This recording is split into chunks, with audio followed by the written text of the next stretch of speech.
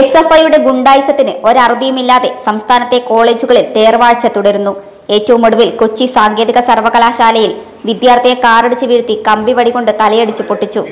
S F I unit secretary Rahul Peralam president Prijith K Babu എന്നിവരുടെ നേതൃത്വത്തിലായിരുന്നു ആക്രമണം. ആസിൽ അബൂബക്കർ എന്ന വിദ്യാർത്ഥിയുടെ തലയാണ് എസ് എഫ് ഐ വിദ്യാർത്ഥികൾ തകർത്തത്. എസ് എഫ് ഐയുടെ ആക്രമണത്തിനെതിരെ വിദ്യാർത്ഥികൾ സമരത്തിലാണ്.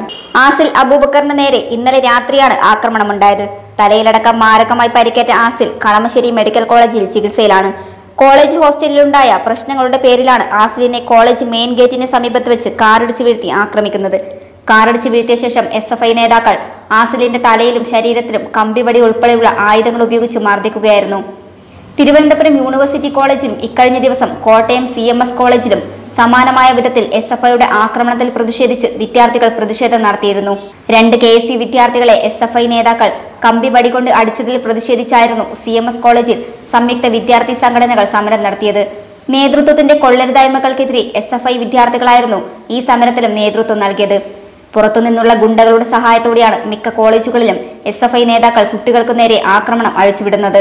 അക്രമവും കയ്യേറ്റവും സഹിച്ചു മടുക്കുമ്പോഴാണ് പലപ്പോഴും എസ് എഫ് ഐ പ്രവർത്തകർ തന്നെ അവരുടെ നേതാക്കൾക്കെതിരെ പ്രതികരിക്കുന്നത്. കഴിഞ്ഞ വർഷം ജൂലൈയിൽ തിരുവനന്തപുരം യൂണിവേഴ്സിറ്റി കോളേജിൽ വെച്ച് എസ് എഫ് ഐ പ്രവർത്തകനായ അഖിൽ എന്ന വിദ്യാർത്ഥിയെ അതേ കോളേജിലെ എസ് എഫ് ഐ നേതാക്കളായ ശിവരഞ്ജിത്തും നസീമും ചേർന്ന് കുത്തിവീഴ്ത്തിയത് വലിയ പ്രതിഷേധത്തിനിടയാക്കിയിരുന്നു.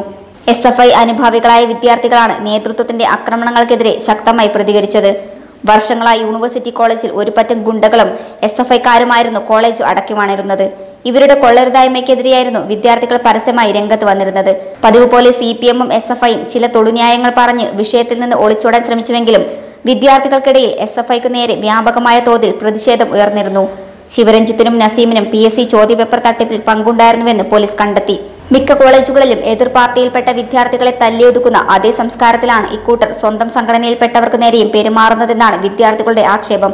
അതുകൊണ്ട് തന്നെയാണ് മിക്ക ക്യാമ്പസുകളിലും എസ് എഫ് ഐ അണികൾ നേതൃത്വത്തിനെതിരെ കലാപവുമായി രംഗത്ത് വരുന്നത്.